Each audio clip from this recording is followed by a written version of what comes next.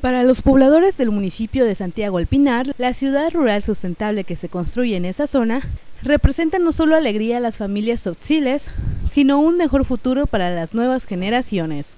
Indicaron que con la llegada de ese proyecto también se amplía la cobertura educativa, ya que actualmente se construye el colegio de bachilleres que originará que más jóvenes se queden en su comunidad. En ese tenor, manifestaron que con la construcción de esta ciudad rural, que promueve los tres órdenes de gobierno, solicitaron la construcción de una universidad regional que atienda a estudiantes de este lugar y a los municipios circunvecinos como Aldama, La Rainsar, Chalchihuitán y El Bosque. De esta manera se garantiza la permanencia de los jóvenes en su lugar de origen para que a la vez colaboren en el desarrollo de su comunidad. Cabe destacar que actualmente la población, principalmente las mujeres, ya están trabajando los primeros proyectos productivos de invernaderos, como el cultivo de gladiola, que están a punto de cosechar, y la cafeticultura. Con lo anterior, lograron eliminar el coyotaje, ya que también se les construye un centro de acopio para que puedan comercializar el grano de manera directa. La estructura urbana de esta nueva ciudad rural Santiago El Pinar se fundamenta a partir de cuatro centros vecinales, un centro de barrio y un centro urbano. Estos contarán con infraestructura, equipamientos y servicios que fortalecerán en su conjunto la funcionalidad de la ciudad rural sustentable.